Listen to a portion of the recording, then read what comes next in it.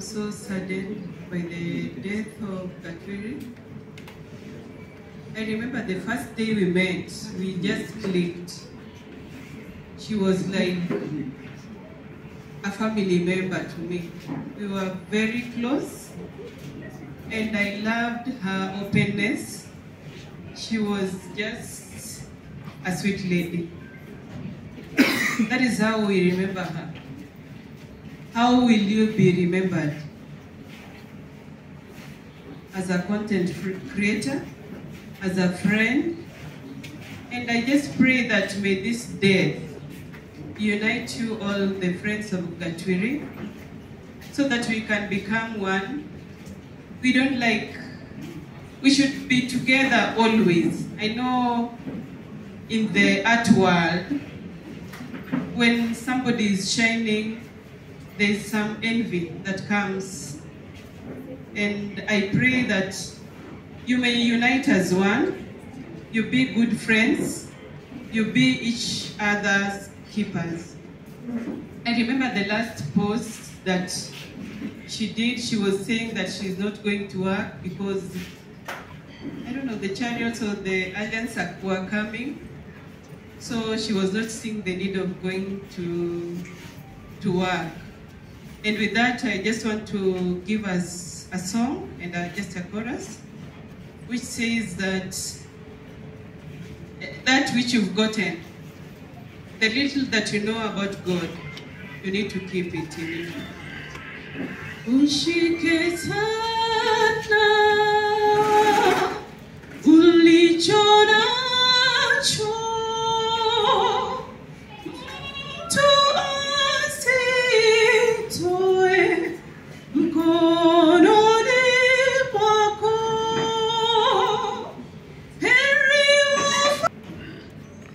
family, friends, relatives, colleagues of the clinic.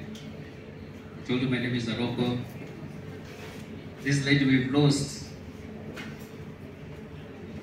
she was a great lady. I met her for the first time and I introduced myself, that was a year ago, to her. She came to the village, went to Dave's place. She was a lovely girl. But one thing stood out, could interact with anyone. Okay? She could touch you at any point. When I told her that I was joining politics, she told me, Mheshimiwa, me, I don't have money, but I will support you with whatever I will have in my hands, even if it is not money. She touched me. The, way she was talking, the accent was Meru.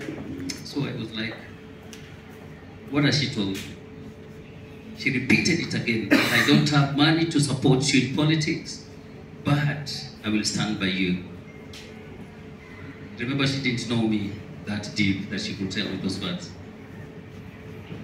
So, as time was passing by, she was asking for any connection that could boost her level and how she can grow herself. We happen to have had a friend, the High Commissioner for United Nations High Commissioner for Habitat. Then I told Dave, let's let's go with the lady. So we went to the United Nations High Commission for Habitat with her. We introduced her to the commissioner. And they clicked, the way they clicked, it's like they, they've known each other for, for some time. She had something that God put in her that was, uh, was attracting people towards her. So each and every person who has spoken here, she must have touched their lives. Like uh, there's a lady called Karau, she said that that that was good in her, that is what we need to pick and grow. So as friends, as colleagues, this is a very young generation You've lost your colleague, you've lost your friend, but I want to encourage you that there's nothing you can do as that now she's gone. If she did something that was touching you, that touched you, that touched your family, that you felt was good, then pick it from her. Then you grow it. And thank you guys for coming together Thank you guys for standing with the family. We also thank you for everything that you put in line to help Gatwiri rest in peace. People will die, everyone will die. But we pray to God that we should not die before we exhaust our talents and help people and grow others. Somebody say that she took, uh, what is it called? Uh, she, the food she took to, to the lady who, who, who gave birth. What is it called? Budokoi or something? Mom. Mokimo.